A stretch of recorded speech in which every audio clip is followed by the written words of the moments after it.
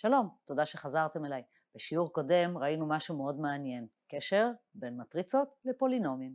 עכשיו נדבר גם על הקשר בין מטריצות פולינומים ושורשים. בואו נצא לדרך. בואו נזכר מה שראינו שיעור קודם. יש לי מטריצה ריבועית, יש לי פולינום px ממעלה k. מה זה אומר להציב מטריצה בתוך פולינום? p של a שווה, להחליף את x ב-a, ak כפול a בחזקת k ועוד a1 כפול a, ואת האיבר החופשי a0 אנחנו כופלים ב-i, כדי שבסוף נחבר מטריצות ריבועיות ונקבל מטריצה ריבועית. בואו נזכר גם מה זה אומר שמספר x1 נקרא שורש של הפולינום px שהיה לי כאן. מה זה אומר? נכון, שאם במקום x אני מציבה את המספר x1, מה אני אקבל בסוף? את המספר 0. מה אנחנו נעשה הפעם? אנחנו כבר יודעים להציב מטריצות בפולינומים. עכשיו אנחנו נתהה מה המשמעות שמטריצה היא שורש של פולינום. מספר הוא שורש אם מציבים אותו ומקבלים אפס. מטריצה היא שורש של פולינום? מתי לדעתכם? אני מנחשת שגם אתם מנחשים את התשובה. בואו נראה. הנה היא מטריצה ריבועית, והנה פולינום px, akxk, ועוד ועוד a0. אומרים ש-a מאפסת את הפולינום px, או ש-a שורש של הפולינום px, מתי? נכון, כמו במספרים, אם p של a שווה ל-0. רק הפעם שימו לב שהאפס הזה זה לא מספר, זו מטריצת אפסים. מאיזה סדר? מהסדר של a, n על n. כי כשאני מציבה בתוך פולינום מטריצה n על n, אני מקבלת מטריצה n על n. אז אם קיבלתי 0 פירושו, קיבלתי את מטריצת האפס. אז אומרים ש-A היא שורש של הפולינום. כמו שיש מספר שהוא שורש, יש גם מטריצה שהיא שורש. בואו נראה דוגמה. הנה מטריצה A, 1, 0, 1, 0, 1, 0, 0, 0, 1. והנה פולינום, x פחות 1 בסוגריים בריבוע. אני רוצה להציב את A בתוך הפולינום. אני אפילו לא אפתח סוגריים פה. בואו נחשב את P של A בלי לפתוח סוגריים. אני צריכה לעשות A פחות 1 כפול I, A פחות I, A פחות I, ואת התוצאה לעלות בריבוע. מה זה A פחות I? אנחנו מקבלים 0, 0, 1, 0, 0, 0, 0, 0, 0 בריבוע. כשאת המטריצה הזו מעלים בריבוע, מקבלים מטריצת אפסים.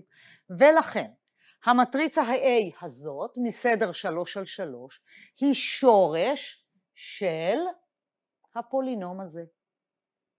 תחשבו רגע, אתם יכולים לנחש עוד שורש של הפולינום? נכון, המטריצה I. I פחות I נותן 0, 0 בריבוע ייתן 0. מצאנו שני שורשים. הנה לנו משפט מאוד נחמד. A מטריצה ריבועית, אזי. A הפיכה. אם ורק אם A מאפסת פולינום עם מקדם חופשי שונה מ-0. אם היא הפיכה, היא מאפסת פולינום עם מקדם חופשי שונה מ-0, אם היא מאפסת פולינום חופשי שונה מ-0, פולינום עם מקדם חופשי שונה מ-0, הוי כמה זה מבלבל, אז זה הפיכה, זה מה שכתוב פה.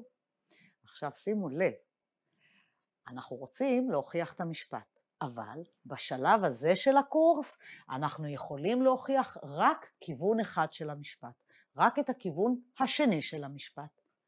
אבל הכיוון הראשון של המשפט יהיה המשפט האחרון שאנחנו ננסח ונוכיח במסגרת הקורס הזה. זה משפט שחצי ממנו נראה עכשיו, והחצי ממנו יסגור לנו את הקורס שלנו. נחמד. אז בואו נוכיח את הכיוון שאנחנו יכולים להוכיח כרגע. אז A מאפסת פולינום עם מקדם חופשי שונה מ-0, אמרנו, אנחנו עושים את כיוון 2, אנחנו רוצים להראות ש-A מטריצה הפיכה.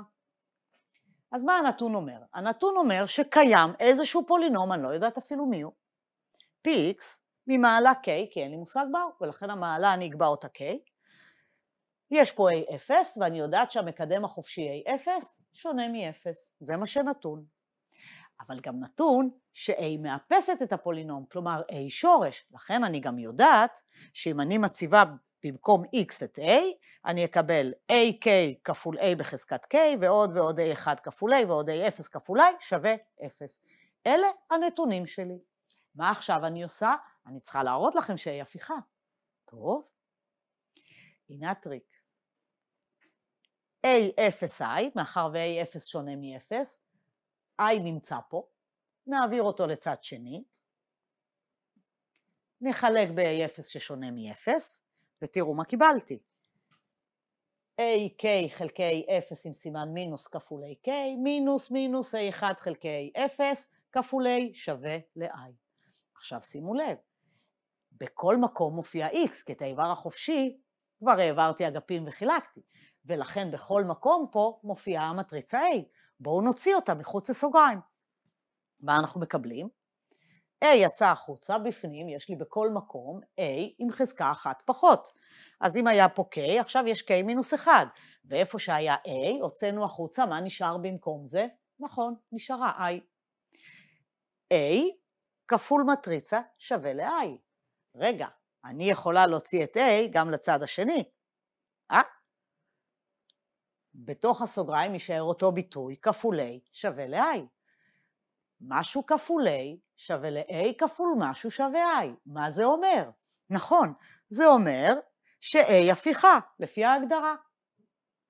נכון, וסיימנו להוכיח. אבל יותר מזה, שימו לב, יש לי כאן משהו כפול A שווה ל-A כפול משהו שווה ל-I. מה זה המשהו הזה? נכון, המשהו הזה, מה שאתם רואים פה בתוך הסוגריים, זה A במינוס 1. ומה אנחנו רואים בתוך הסוגריים? מה שאנחנו רואים פה זה איזשהו פולינום שהמשתנה שלו הוא A. סקלר כפול A בחזקה, ועוד סקלר כפול A בחזקה, ועוד סקלר כפול I. הדבר הזה הוא פולינום שהמשתנה שלו הוא המטריצה A במקום איזשהו משתנה X. קיבלנו שההופכית היא פולינום ב-A, פולינום עם משתנה, אני עושה ככה כי זה לא משתנה, A זו המטריצה הנתונה. A מינוס 1 זה פולינום ב-A. בואו נראה דוגמה לדבר הזה. אתם זוכרים את המטריצה A הזו, כבר ראינו שכשהצבנו אותה בפולינום x פי 3 של x, שהיה x בריבוע מינוס 9, קיבלנו 0, רק שאז לא קראנו לזה שורש של הפולינום. עכשיו אנחנו יודעים, a היא שורש של הפולינום x בריבוע מינוס 9. כשאנחנו נציב את a, נקבל a בריבוע מינוס 9i, שזה שווה ל-0, וזכרו, ה-0 הזה זו מטריצה 2 על 2. נעביר אגפים, נעשה את אותו טריק. הנה i, עם מקדם חופשי שונה מ-0, נעביר לצד שני, a בריבוע שווה ל-9i. עכשיו מה עושים, זוכרים? מחלקים ב-9. תשיעית כפול a כפול a שווה ל-i, נשים פה סוגריים, תשיעית כפול a כפול a שווה ל-i, המשהו הזה זה בדיוק a מינוס 1. והנה זה פולינום ב-a. כאן היה לי מעלה שנייה, כאן יש לי מעלה אחת פחות, פולינום ב-a ממעלה 1. a מינוס 1 אם כך שווה לתשיעית a, תשיעית כפול המטריצה a שכתובה פה למעלה. הנה התשובה. בלי להתאמץ, בלי להציב, להדביק את i ולדרג, מצאתי פולינום ש-a מאפסת, המקדם החופשי שונה מ-0, הנה מצאתי לי את a במינוס 1, כפולינום ב-a. אהה, שואלים אותי פה, אם a מאפסת פולינום עם מקדם חופשי שכן שווה ל-0, האם אז זה אומר ש-a פשוט לא הפיכה? ברור שלא. ממש ממש לא נכון. הרי אם a מאפסת את px, איזשהו פולינום עם מקדם שונה מ-0, היא תאפס כל פולינום מהצורה h ששווה ל-px זה כפול qx. אם אני אציב כאן את a, מאחר ו-p של a כבר שווה ל-0, מטריצת ה-0 כפול משהו, לא משנה כפול מה, ייתן לי את מטריצת ה-0.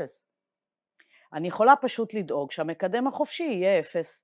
בואו נראה את הדוגמה שלנו. נבחר בדוגמה מספר 2 את qx להיות x, אז המקדם החופשי של hx יהיה בוודאות 0. למה? כי הפולינום הוא hx יהיה x כפול x בריבוע מינוס 9, שזה x בשלישית מינוס 9x. הנה, המקדם החופשי הוא 0, וכמובן ש-a מאפסת את הפולינום, כי a מאפסת כבר את x בריבוע מינוס 9, ולכן, אם המקדם החופשי שונה מ-0 ו-a מאפסת את הפולינום, בוודאות a מטריצה הפיכה. אבל אם a מאפסת פולינום שהמקדם החופשי הוא 0, אני לא יודעת מה קורה. a יכולה להיות הפיכה או לא הפיכה. הנה עוד דוגמה. A מטריצה 5 על 5 מאפסת את הפולינום px ששווה ל-3x בשלישית ועוד 2x מינוס 5. בואו נראה ש-a הפיכה וגם נמצא את a מינוס 1. מה אנחנו עושים? את אותו תהליך שעשינו קודם. אם a מאפסת את הפולינום, אני רואה שהמקדם החופשי שונה מ-0, אז אני יודעת ש-a הפיכה. סיימתי להוכיח ש-a הפיכה באמצעות המשפט הקודם. עכשיו אני רוצה למצוא את a מינוס 1. אנחנו כבר יודעים את הטריק. נציב a, נקבל 0 כי זה נתון. נעביר את 5i מינוס 5i לצד שני, 3a בשלישית ועוד 2a שווה ל-5i. נוציא a, נחלק ב-5 קודם, 3 חמישיות a בשלישית ועוד 2 חמישיות a שווה ל-i. עכשיו נוציא את a מחוץ לסוגריים, a כפול משהו שווה ל-i, והנה a מינוס 1. מצאנו את a מינוס 1. a מינוס 1 שווה 3 חמישיות a בריבוע ועוד 2 חמישיות i. זהו. אהה, אם הפולינום ממעלה k, האם זה אומר שלפולינום יש k מטריצות שהם שורשים שלו? זוכרים בדוגמה הראשונה? היה לנו שם מטריצה שמאפסת פולינום ממעלה 2, אפילו הצלחנו לנחש את i כשורש נוסף, מצאנו שתי מטריצות שהן שורשים של הפולינום. תמיד זה ככה? הפולינום ממעלה 2 יש לי שתי מטריצות, פולינום ממעלה 7 יהיה לי 7 מטריצות? התשובה היא שלא, יש קצת יותר. למעשה, יש אינסוף מטריצות שהן שורש של פולינום נתון. אם אתם נותנים לי פולינום, לא משנה מה המעלה שלו, אני אוכל למצוא אינסוף מטריצות שיאפסו את הפולינום. הנה לכם דוגמה. קחו את המטריצה הזאת, A אלפא ששווה ל-1 אלפא 0, 2. שימו לב, במכה אחת נתתי לכם אינסוף מטריצות. לא משנה איזה אלפא אתם שמים, יש לכם מטריצה חדשה, אחרת, שונה מקודמתה. כל אלה יהיו שורשים של הפולינום px שהוא x בריבוע מינוס 3x ועוד 2. תעשו את החשבון לבד. קחו את הפולינום הזה ותציבו 1 אלפא 0 2. עשו את החשבון עם אלפא. זה לא מסובך, מטריצה 2 על 2, משולשת, החשבונות לא מסובכים. תעשו את החשבון עם האלפא הכללית ותראו שלא משנה איזה אלפא כתוב שם. אנחנו תמיד נקבל בסוף את מטריצת האפס מסדר 2 על 2. זהו חברים, סיימנו להפעם. ניפגש בשיעור הבא עם מושג חדש, עם מטריצות מיוחדות שהן הפיכות. תודה רבה לכם.